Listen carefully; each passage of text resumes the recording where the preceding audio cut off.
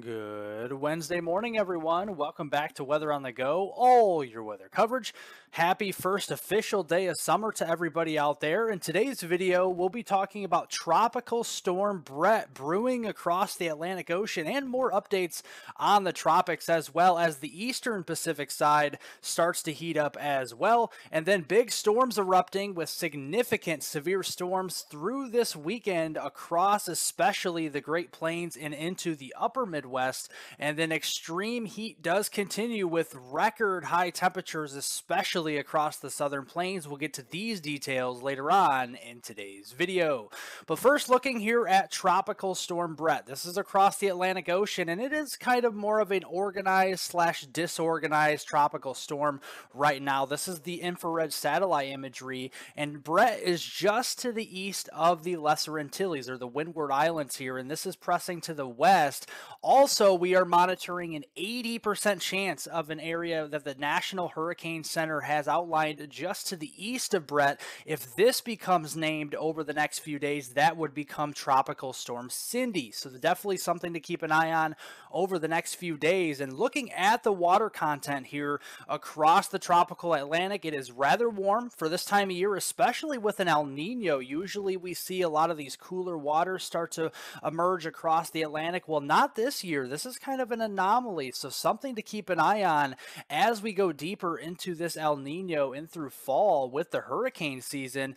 But looking here at Bret, So today, Bret is just to the east, like I said, of the Lesser Antilles and the Windward Islands. We have Cindy trying to develop just to the east of there, taking a similar path initially as Bret as well. And then as we go through late week, Thursday into Friday timeframe, June 22nd into the 23rd, Bret will cross over the Lesser Antilles and into the Eastern Caribbean here bringing some impacts with strong winds, heavy rainfall, and some storm surge at times as well.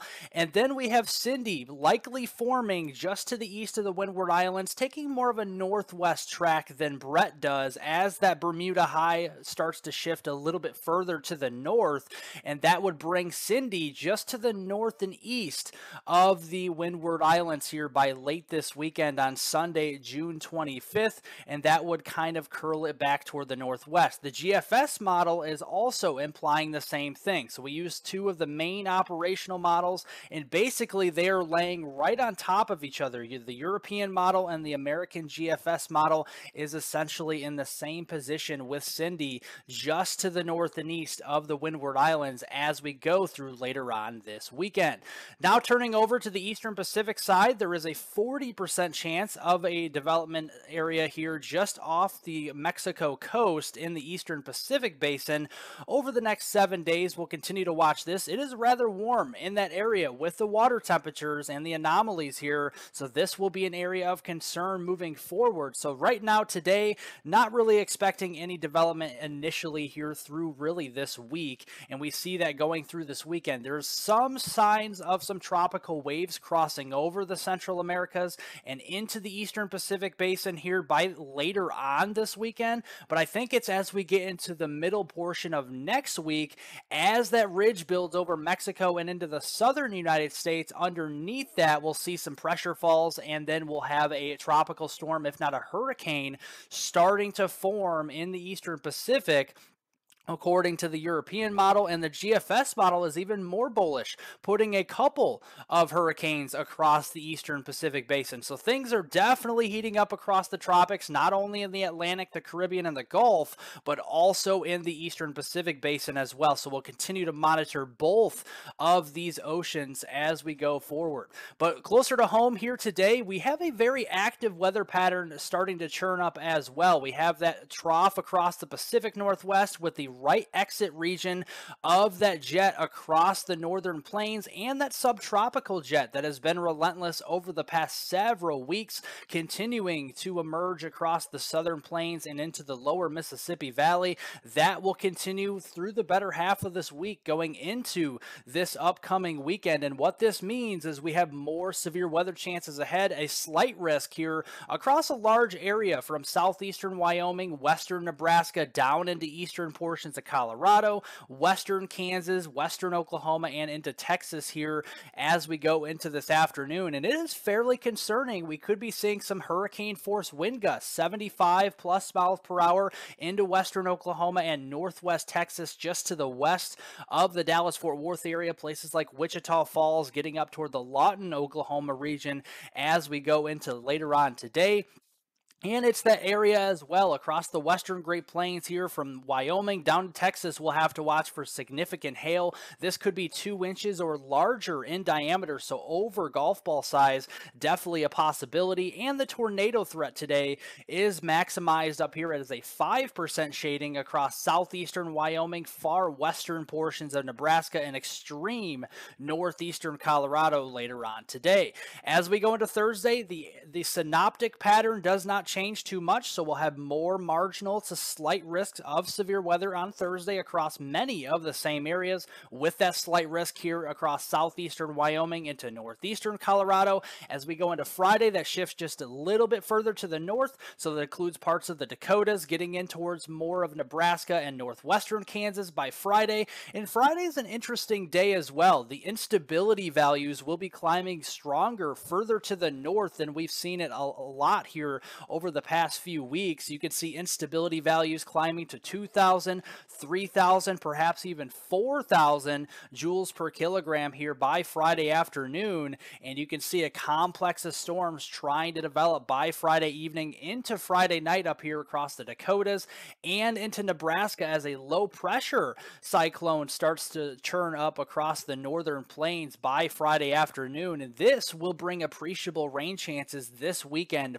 finally for the northern states here. And by the time we get into Saturday, this could bring us another chance of severe weather, this time a little bit further to the north, including parts of the Midwestern regions here in the Missouri Valley. This is for eastern South Dakota, parts of Minnesota here into Iowa, getting into eastern Nebraska toward the Kansas City region there, into eastern portions of Kansas and northern Missouri That'll be the area highlighted by the time we get into Saturday, June 24th. And again, the same principle here. Instability will be building further to the north, up to around 4,000 joules per kilogram up here as far north as the Omaha, Lincoln, Nebraska region. And on the northern periphery of all of this unstable air, we'll have another complex of storms dropping from northwest to southeast across the Midwest and into the Missouri Valley by Saturday night into Sunday morning. So if you live in Des Moines, Moines, Iowa, down through Omaha, even as far south as the Kansas City region on Saturday, I would definitely pay attention to the weather forecast as severe weather will be possible, if not likely, moving forward. So definitely something to monitor there. Now talking rainfall amounts. Total rainfall accumulation today through your Monday. This is going all the way into early next week on June 26th. The heaviest of the rains will be felt up here into the northern plains, especially into North Dakota and northern Minnesota, and then across the mid mid-Atlantic states and down into the southeast, and we'll kind of take you through these areas as well. If you live into the Fargo region, Bismarck, all the way south and west toward Rapid City here, definitely seeing a good swath of drenching rains of about two to as much as five inches worth of rain going through this weekend. Even some decent rains down here into western portions of Nebraska, northeastern Colorado as well, and then across the mid-Atlantic states down into the southeast, including the Carolinas, Virginia, on up here into Maryland, New Jersey, Delaware, parts there of eastern Pennsylvania. We'll be seeing widespread drenching, uh, drenching rains through the weekend and into early next week with one to as much as three, if not four inches of rain in some isolated spots occurring across those areas. So those are the two main focusing areas we're seeing for the heaviest of the rains. Definitely watch out for the flooding concerns moving forward across those regions. Then the next big story is the extreme heat wave. This week, this ridge is going to be locked in place across the Great Plains and the upper Midwest. And on either side of the ridge, that's where we have the pressure falls, where we have a stronger trough across the Pacific Southwest here toward California, and another trough across the Southeast, bringing unsettled weather with all those rain amounts that I was showing you as well. This is actually an omega blocking pattern that will be in place through this weekend And look at this, guys. Widespread excessive heat warnings and advisories across portions of the southern plains, and about 80% of Texas is covered in this type of heat alert. So, definitely something to keep in mind because you know Texas gets hot in the summer, but when you start seeing excessive heat warnings for Texas, you know it's hot out there. And we'll show you that just here right now. So, looking at the heat index values today, yeah, look at that, guys. Widespread 110, 115 heat here here Fahrenheit across Texas from Dallas Fort Worth back to Abilene, all the way south here toward the Brownsville Corpus Christi region. That continues through the Thursday time frame. If we have a couple thunderstorms develop, you can see a couple holes here in towards the uh, heat index values. That would suggest that we have some rain cooled air across those regions into Thursday and same thing into Friday, but it looks like the heat will prevail as we go even into this weekend on Saturday as well. So the heat is going nowhere anytime anytime soon. And in fact, if you love summer heat, this is the forecast for you. I promise you that. Because going through the end of June on Friday, June 30th, the heat is going nowhere across the southern United States. In fact, it may even build a little bit further to the north across Oklahoma, Kansas, getting into Arkansas and Missouri here as well by the time we get in towards later on this month. And in fact, previewing your early July 4th holiday plans, yeah, excessive heat is a high probability across east central Texas, even a moderate probability up here into the Missouri Valley and the Arklatex regions as we get closer toward that July 4th holiday. So definitely something to watch out for as well. So looking at precipitation trends during this period, it will be active with the troughs across the Pacific Northwest and the northern plains over the top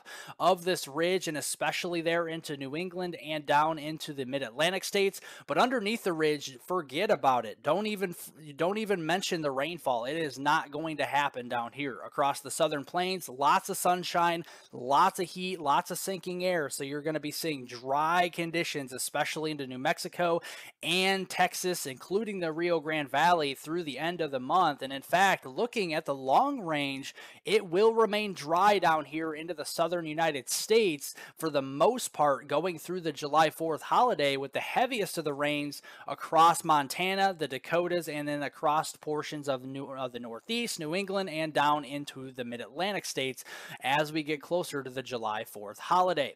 Well, if you like today's video, be sure to press the like button. Also, subscribe to the channel if you like detailed weather breakdowns on North America, including southern Canada, the United States, and the tropics. This is the channel for you. Subscribing is is absolutely free. And like I said, you get all of this detailed weather breakdowns every single day on this channel. Be sure to like the video as well. If you have not, it definitely helps out by pressing the thumbs up button below the video to disperse this to as many people as possible. I do appreciate that as well. Also, if you want to follow me on Twitter for additional weather forecast updates here, I do post on that platform fairly frequently. Follow me down below in the description on Twitter at hweather420. I definitely appreciate that. Otherwise, thank you so much for watching today's video. Everybody, make sure to leave a like down below. Um, subscribe, like I said. Also, leave any comments, questions, and concerns below. I'll get to those later on today. And hit that notification bell because if we do have to go live for severe weather live streams or the tropical live streams, we will be doing so later on this month and into early July as well. So definitely be sure to press the notification bell. Have a great rest of your Wednesday, everybody. A great rest of the week, and I will see you all in the next video.